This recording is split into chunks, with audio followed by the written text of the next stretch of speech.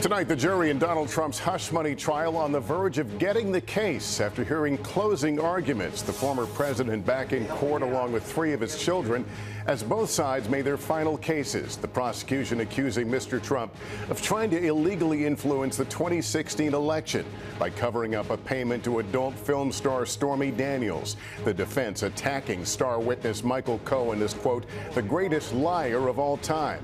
And the chaos outside the court. Actor Robert Robert De Niro clashing with pro Trump protesters.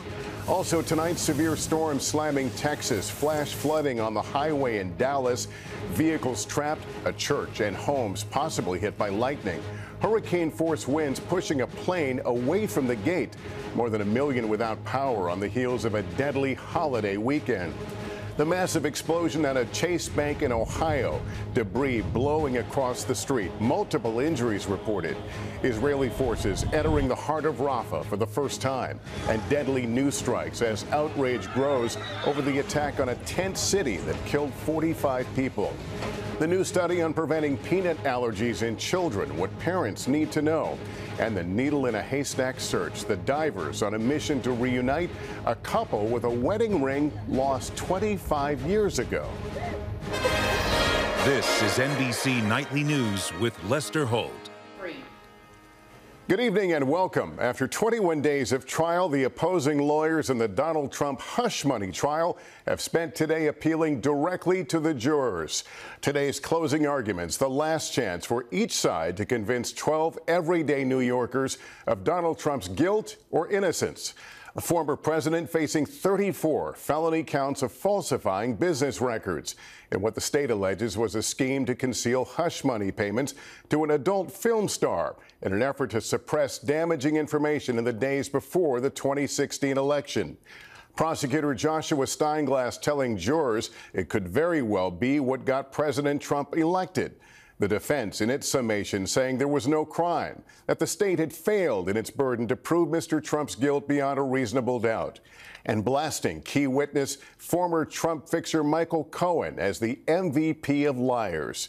Laura Jarrett was in court today. Tonight, the first trial of an American president soon in the hands of seven men and five women. Prosecutors closing their case arguing former President Trump orchestrated a criminal conspiracy to influence the 2016 election, to pull the wool over voters' eyes, they say, by ordering the payoff of Stormy Daniels and then covering it all up. Prosecutor Joshua Steinglass trying to establish a pattern of Mr. Trump bearing damaging stories that could derail his 2016 campaign, pointing to a key conversation secretly recorded by Mr. Trump's then attorney, Michael Cohen, the star prosecution witness, where Mr. Trump discussed an alleged payoff of a different woman, Steinglass calling it jaw dropping. So, what are we going to pay? Funding, uh, yes. Um, and it's all the stuff. But much of closings today focused on the credibility of Cohen. Quote, we didn't pick him up at the witness store. The defendant chose Michael Cohen, Steinglass said, acknowledging Cohen's criminal history and admitted lies under oath, but telling jurors, you don't need Michael Cohen to connect these dots, but as the ultimate insider, he can do just that. The defense has also tried to discredit Cohen as motivated to lie, desperate to put Mr. Trump behind bars pointing to Cohen's own podcast. Revenge is a dish best served cold. And you better believe I want this man to go down and rot inside for what he did to me and my family. But Steinglass took that head on, arguing today Cohen is understandably angry because Mr. Trump dropped him like a hot potato after the feds came calling in 2018, urging jurors to see this case not about Michael Cohen, it's about Donald Trump. In his closing arguments, Trump attorney Todd Blanche tore into the prosecution's case and its reliance on Cohen's testimony, blasting Cohen as the human embodiment of reasonable doubt branding him the gloat, the greatest liar of all time, and the MVP of liars, saying he lied to Congress, judges, prosecutors, bankers, his family, adding, he came in here, raised his right hand, and lied to each of you repeatedly pointing to one of the trial's most dramatic moments when Cohen was confronted with phone records suggesting he never spoke to Mr. Trump about Daniels in an October 2016 phone call lasting just 96 seconds, but instead had called Mr. Trump's bodyguard to complain about a teenage prank caller. Blanche arguing today he told you he spoke to President Trump. That was a lie, and he got caught red handed. That is perjury.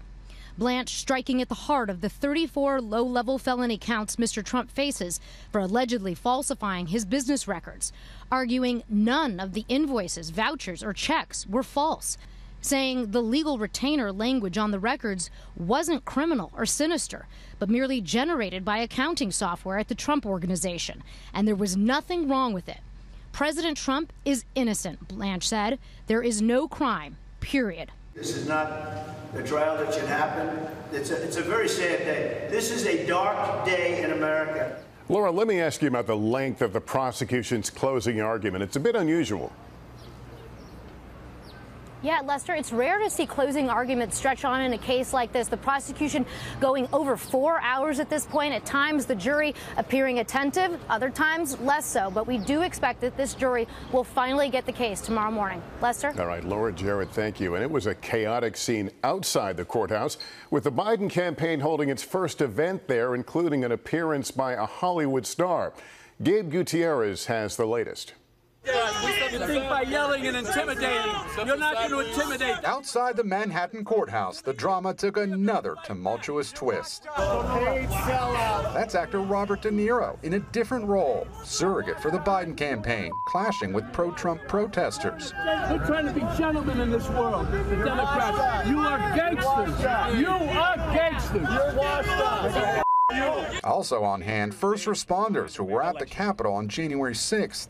Donald Trump is the greatest threat to our democracy. This event, a sharp change for the Biden campaign, which had largely avoided the trial since it began six weeks ago. If Trump returns to the White House, you can kiss these freedoms goodbye that we all take for granted. With many Democrats nervous about the state of the race less than a month before the first presidential debate, NBC News was first to report the Biden campaign is deploying a more aggressive strategy to define Mr. Trump to voters as a threat to democracy and the architect of repealing Roe v. Wade.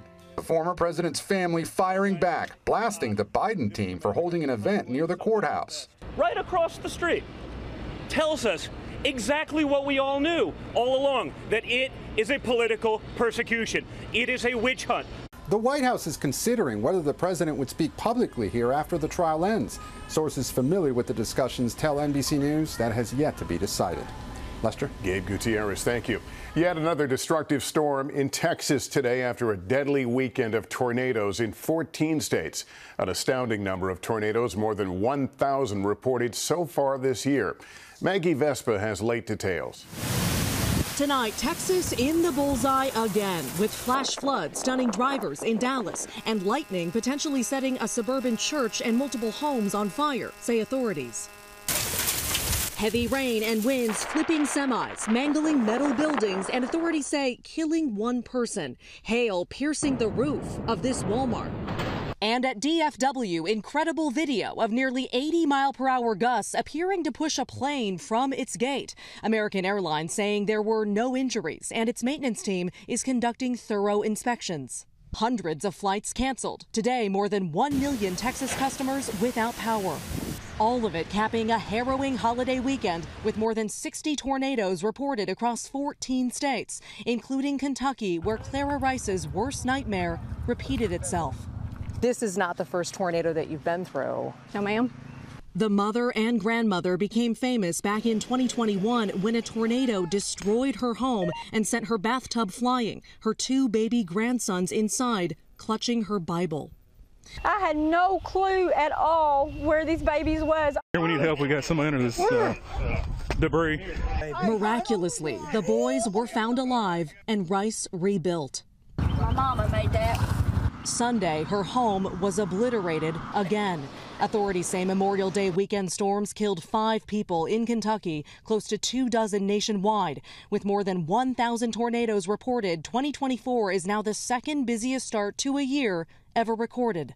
Rice's family, this time, taking cover in a neighbor's storm shelter. Will you rebuild here again? Yes, ma'am. You will? Yes, ma'am. If you can afford a tornado shelter anyway at all, get you one. Get in it and use it. Just use it. God's put it there. It's a pretty incredible story. Maggie Vespa joining us now live in Dawson Springs, Kentucky. Maggie, we're learning more about the power of the tornadoes that tore through there. Yeah, Lester, we're now talking about four confirmed tornadoes. And the National Weather Service says the one that swept through here and obliterated this home was an EF3, packing winds up to 165 miles per hour. They say it was on the ground for 37 miles. Lester. My goodness. All right, Maggie Vespa, thank you. It was an incredible scene today in Youngstown, Ohio, where a massive explosion at an office building injured seven people, one of them critically. The first floor of the building was occupied by a bank, and apartments are on the upper floors. Authorities said a gas explosion may have caused it. In the Middle East, Israeli forces push farther into Rafah in southern Gaza today, and authorities there say more than 20 people were killed in a new Israeli attack. Raf Sanchez is in Israel with late developments. Tonight, Palestinian families fleeing Rafah any way they can as an NBC News crew saw Israeli forces pushing into the heart of the city for the first time. But the White House says it hasn't seen evidence of Israel crossing President Biden's red lines. We still don't want to see the Israelis, as we say, smash into Rafah with large units. And we still believe that. And we haven't seen that at this point. While just outside the city, at least 21 people killed in an Israeli strike on tents along the coast, according to the health ministry in Hamas run Gaza. The IDF denying they attacked a safe zone. It comes just two days after an Israeli airstrike ignited this firestorm at a different camp, killing dozens of civilians. Facing international criticism, the IDF tonight revealing results of a preliminary investigation, saying it used small bombs to target two Hamas commanders, but that a secondary explosion started the enormous fire. Our munition alone could not have ignited a fire of this size. The IDF says hidden Hamas weapons might have caused the blast, but offered no firm evidence. An Israeli official earlier said a gas tank could have sparked the flames. Meanwhile, NBC News has learned the U.S. military has been forced to halt aid deliveries into Gaza by sea after three officials said bad weather damaged its temporary pier. This video showing part of the causeway floating away from the beach. It's the latest setback for the American aid effort after military boats washed up on the coasts of Israel and Gaza over the weekend, while a U.S. service member remains in critical condition after an accident on the pier last week. Now, that temporary pier had only been operational for two weeks, and the Pentagon says it'll take another week to repair. That's a major blow to the humanitarian effort in Gaza at a time when the Rafah crossing, the main lifeline for food and aid from Egypt, remains closed. Lester. All right, Raf, thank you. Just in tonight, a U.S. military aircraft crashing in New Mexico. The images of the fiery wreckage on a hill after the aircraft went down outside Albuquerque's Sunport Airport. Fire officials say the pilot was able to escape and was taken to the hospital with serious injuries. In Los Angeles, police are releasing new details about the fatal shooting of a former General Hospital star. His family speaking out to Morgan Chesky about his tragic final moments. We should find these killers, guys. Tonight, emotional pleas from loved ones of Johnny Wactor, the soap opera star gunned down in Los Angeles after police say he walked up on a group of car thieves. Wactor's ex fiancee speaking directly to the suspect now wanted for murder. You don't have to steal. You know? Especially take a life over it. Investigators tell NBC News they are trying to pull prints from Wactor's vehicle and scouring the area for videos. LAPD sharing Wactor arrived at his car after work to find it raised up with a floor jack by three suspects who were in the process of stealing the catalytic converter, adding one suspect then shot Wactor without provocation. Those three suspects were last seen here on Hope Street, but details are still few. Police only saying the group wore dark clothing and was last seen heading north in a dark sedan. Wactor's mother said he was with a coworker at the time of the attack. Thankful that that person is okay and that when he died, he wasn't alone. She says her son drove a Toyota Prius, one of the most targeted models nationwide for this kind of theft, due to the high levels of valuable metals inside the hybrid's converter. I think they are cowards. I think they are very sad excuse of humans, um, especially the one that pulled the trigger for no reason. A split second decision, robbing a family of a beloved brother and son. Morgan Chesky, NBC News, Los Angeles. In 60 seconds, essential information for parents. A new study out. When is the right time to introduce peanuts to small children to reduce the risk of dangerous allergies? Next. We are back now with a new study that parents need to know about on preventing dangerous peanut allergies in children. Our NBC News medical contributor, Dr. Natalie Azar, is here. And Dr. Azar, the guidance on this issue for parents has changed over time. Yeah, that's right, Lester. The guidance really changed in 2017. And today, we have even more evidence from an NIH study that says this is a simple and safe strategy that could prevent tens of thousands of cases of peanut allergies each year. Researchers found that introducing peanut products from infancy to age five reduced the risk of peanut allergy by as much as 71% in adolescents. The key is to follow the guidelines. If your infant has severe eczema or egg allergy, it may be possible to introduce peanut containing foods at four to six months at home or in a doctor's office to reduce the risk of developing the allergy. And of course, always, Lester, consult with your pediatrician. All right, Dr. Azar, thank you. Up next, the disease on the rise because of the spread of mosquitoes. Why scientists are concerned about new cases of dengue fever before summer has even started. What's being done to stop it? Next. Now that summer is unofficially underway, we want to tell you about a growing risk for millions of Americans, a tiny threat that could be outside your home right now. Ann Thompson with tonight's Health Alert. A quarter inch long and alive up to a mere 25 days, mosquitoes carrying dengue can inflict enormous pain. The severe pain started in the evening. And then soon after that, the high fever started. Dr. Deborah Haney got dengue fever vacationing on the Caribbean island of Curacao. Initially, I thought that I had broken my ribs. She had all the symptoms, including the hallmark pain, why dengue is also called breakbone fever. It just sounds like your whole body was breaking down. It was. This year, dengue is breaking records in the Americas. 7.8 million suspected cases reported so far, up more than 230% from last year, with severe outbreaks in Brazil, Argentina, and Puerto Rico. Yeah, Scientist so right Mike Von Fricken tracks the bug's global reach at the University of Florida. How is dengue transmitted? It's transmitted through the bite of a female Aedes mosquito. And how rare are Aedes mosquitoes? Oh, we've got them in your backyard from Pennsylvania all the way to Florida. Transmission aided, he says, by climate change. It's a, a simple numbers game. If you have a shorter winter season, peak mosquito activity is going to be much longer. And the longer they're biting, the more likely you're going to have that exposure event and infection. Down there. We're on the hunt for those dengue carrying mosquitoes, and one of the weapons, this bazooka. Scientists say their motto is know thy enemy. Mike, the remnants of someone's lunch, is this the kind of environment Aedes mosquitoes prefer? Yeah, so they, they do really well in um, non biodegradable trash as long as it can hold water and it's enough water for about six or seven days.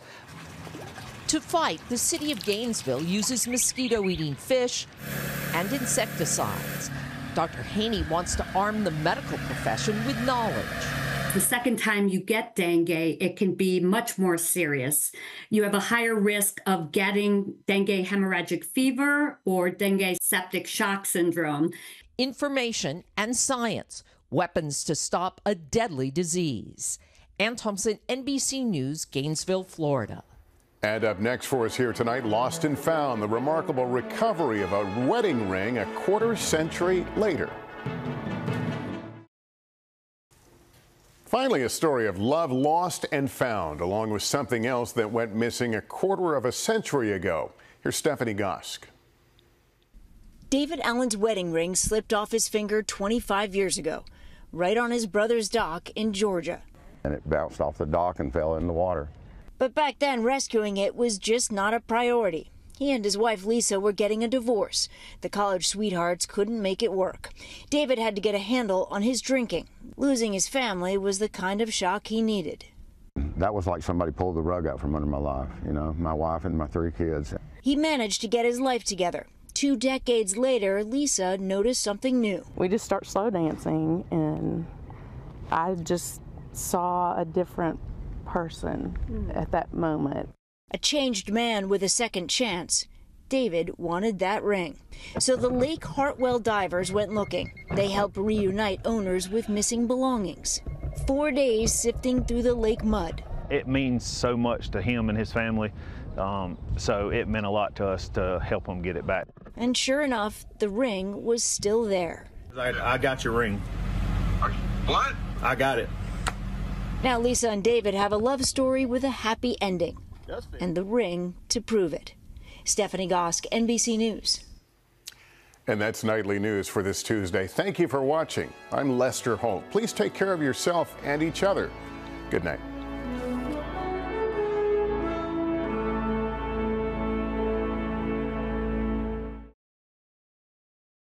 Thanks for watching. Stay updated about breaking news and top stories on the NBC News app or follow us on social media.